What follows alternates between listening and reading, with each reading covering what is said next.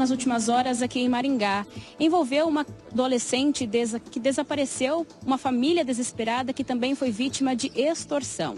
Essa adolescente saiu de casa e os pais desesperados, acabaram compartilhando uma foto nas redes sociais com o número de telefone, pedindo informações sobre o paradeiro da jovem.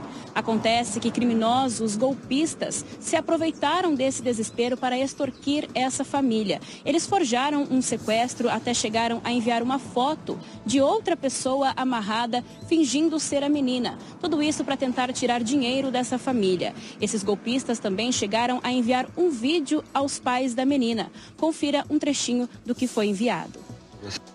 Chegou ao nosso conhecimento ontem. Nós estamos aqui para resolver essa situação da vitória. Só não quero botar minha facção em risco, correto? Corra logo atrás dessa situação, bora acabar logo com isso.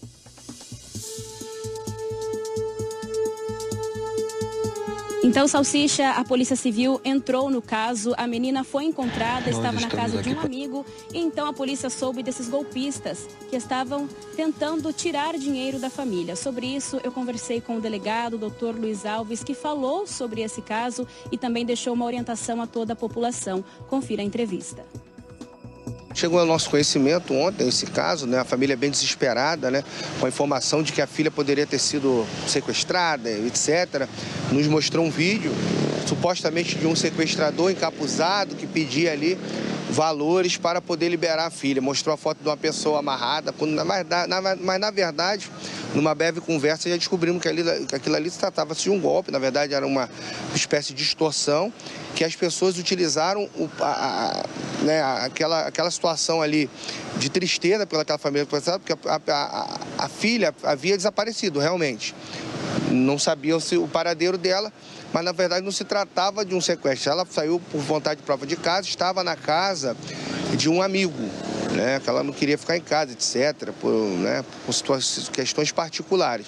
Só que aí rapidamente, em uma conversa apuramos, descobrimos onde ela poderia estar Fomos até o local e lá estava ela, encontramos imediatamente, né? E comunicamos essa família, cessou-se essa situação. Mas é uma situação que vem, tem sido muito corriqueira, de pessoas se passando por ou ladrões com subtração de objeto, ou sequestradores e pedindo resgate, quando na verdade eles pegam um anúncio de vítimas. Por exemplo, essas pessoas, elas postaram nas redes sociais que a filha havia desaparecido e colocaram o número de telefone.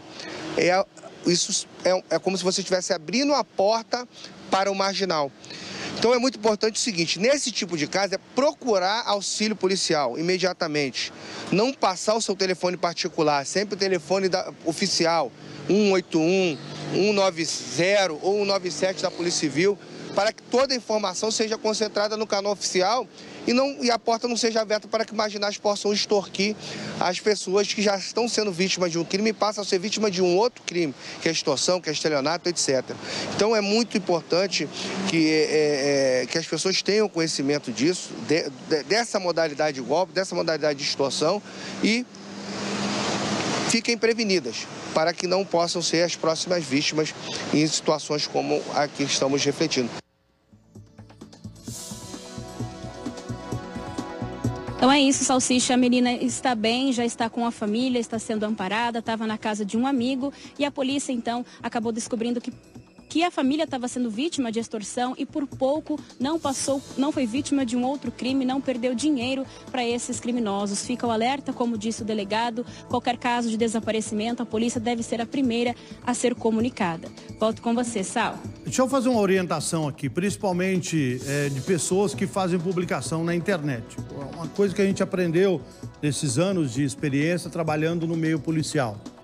Quando, por exemplo, rouba um veículo, furta um veículo, é a pessoa que divulga o telefone dela de contato. Se alguém achar o carro ou se tiver alguma informação, para ligar no telefone dela.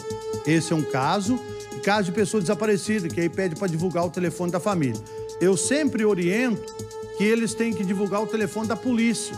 É a polícia que vai resolver, entendeu? Tem até algumas pessoas que falam, não, Salsicha, eu quero que você publique lá no teu Facebook e põe o meu telefone. Eu falo assim, ó, eu vou publicar, mas você cuidado com o golpe. Porque você fala que o carro é roubado e daí você vai dar o teu telefone. O malandro que não tá com o teu carro vai tentar tomar teu dinheiro.